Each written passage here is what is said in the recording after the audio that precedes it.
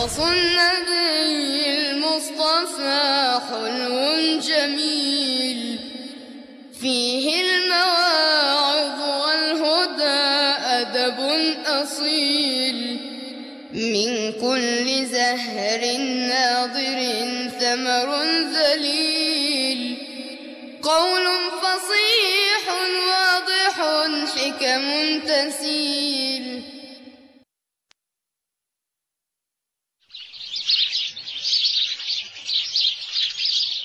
ماذا ستحكي لنا الليلة يا عم؟ سأروي لكم قصة جميلة جدا وشيقة جدا جدا. وما هي؟ هي قصة تتحدث عن هدهد ولكنه ذو شأن عظيم. هذا الهدهد قد اهتدت على يديه أمة وتسبب في هداية قوم سبأ. سبحان الله شوقتنا لسماع القصة. فابدأ بسم الله. هذه القصة قد حدثت في عهد نبي الله سليمان. عليه السلام. صحيح يا عم أن نبي الله سليمان كانت تحمله الريح وسخرت له الجن؟ نعم يا أبنائي بل وكان يعلم لغة الطيور والحيوانات والحشرات.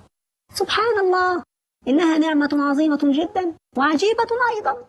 نعم يا أبنائي. وهذا الموقف من أعجب المواقف التي مرت على نبي الله سليمان.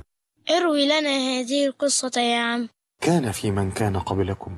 على عهد نبي الله سليمان يحدث اجتماع بين نبي الله سليمان وبين جنوده من الإنس والجن والطير.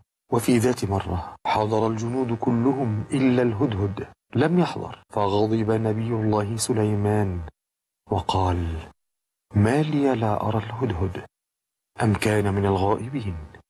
لأعذبنه عذابا شديدا. أو لأذبحنه.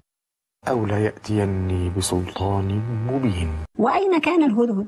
غاب الهدهد قليلا ثم جاء بأمر عجيب. لابد وأن أخبر سليمان بما رأيته. هل هناك إله غير الله يعبد؟ لقد رأيت عجبا. رأيت أناسا يعبدون غير الله. فجاء الهدهد إلى سليمان وقال له لقد عرفت أشياء خطيرة وعرفت أشياء لم تعرفوها وأحط بما لم تحط به. وجئتك من مدينة سبع بنبأ يقين.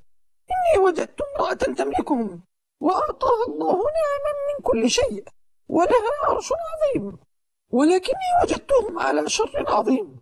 لقد وجدت الملكة وقومها يسجدون للشمس من دون الله. وقد زين لهم الشيطان أعمالهم فصدهم عن سبيل الحق فهم لا يهتدون. وهل هناك أحد يسجد لغير الله؟ كيف هذا؟ أي سجود لغير الله يا أبنائي فهو حرام. ولذلك تعجب الهدود حين رأى الناس يسجدون لغير الله.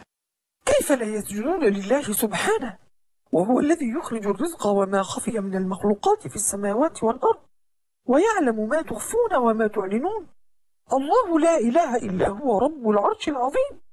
إنه لهدهد حكيم حقا. صدقتم يا أبنائي. وماذا قال له نبي الله سليمان؟ قال نبي الله سليمان سننظر في أمرك سنختبرك لنعلم أصدقت أم كنت من الكاذبين وكيف اختبره؟ كتب نبي الله سليمان خطابا لأهل مدينة سبأ وقال للهدهد اذهب بكتابي هذا فألقه إليهم ثم تول عنهم وراقبهم حتى تعلم ماذا سيردون على الخطاب وماذا سيفعلون بعد قراءته وماذا حدث بعد ذلك؟ أخذت بالقيس ملكة سبأ الخطاب ثم جمعت وزراءها وكبراء قومها وقالت يا أيها الملأ إني قد ألقي إلي كتاب كريم إنه من سليمان وإنه بسم الله الرحمن الرحيم ويأمرنا سليمان ألا نتكبر على أمره ولا بد أن نترك عبادة الشمس وأن نذهب إليه مسلمين. ما رأيكم؟ أشيروا علي ماذا نفعل؟ نحن أصحاب قوة وأصحاب بأس شديد. وأنت التي تصدرين الأوامر. فماذا تقولين أنت؟ قالت بالقيس إن الملوك إذا دخلوا قرية بالحرب أفسدوها وجعلوا أعزة أهلها أذلة. وكذلك يفعلون. عندي فكرة.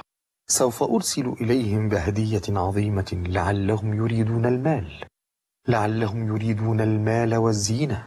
وسوف أنتظر الرد. هذه هدية من ملكتنا بالقيس إليكم أيها الملك العظيم. وماذا قال نبي الله سليمان؟ قال هل تعطونني هدايا ومال وتظنون أن هذا سيرضينا؟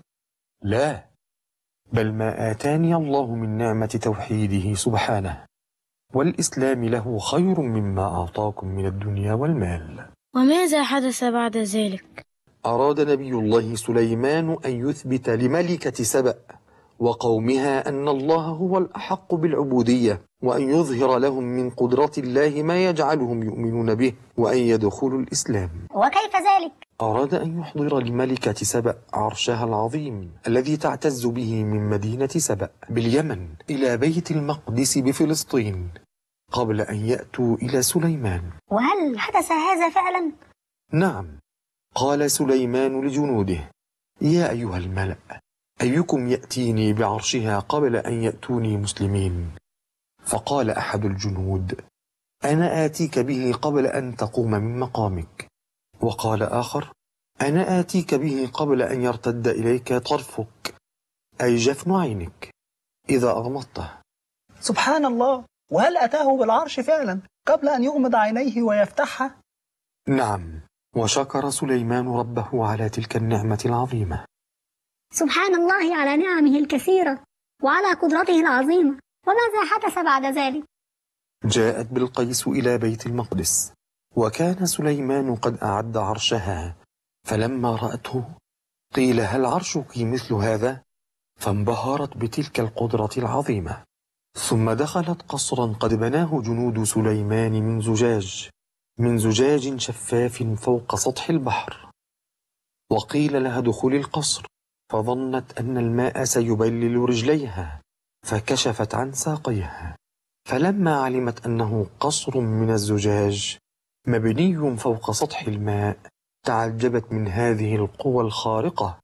وعلمت أن سليمان نبي الله حقا وأسلمت هي وقومها. كل هذا بسبب الهدهد؟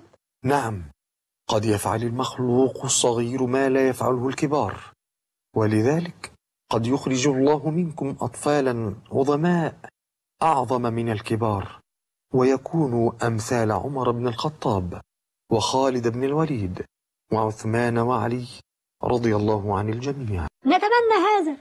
أسأل الله لكم التوفيق يا أبنائي. السلام عليكم ورحمة الله. قصص النبي المصطفى حلو جميل. فيه المواعظ والهدى أدب أصيل. من كل زهر ناظر ثمر ذليل. قول فصيح واضح حكم تسيل. رجل سقى كلبا فنال ثوابه واستوجب الغفران من رب الجميل وثلاثة بالغفران